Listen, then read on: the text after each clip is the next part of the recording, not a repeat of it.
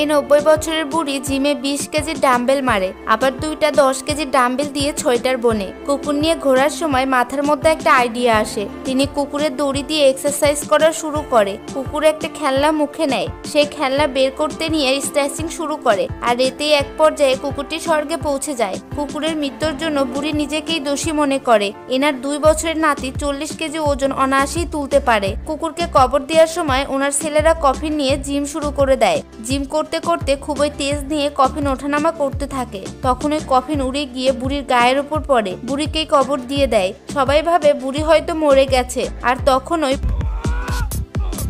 বুড়ি কফিন নিয়ে বুকডন করতে থাকে।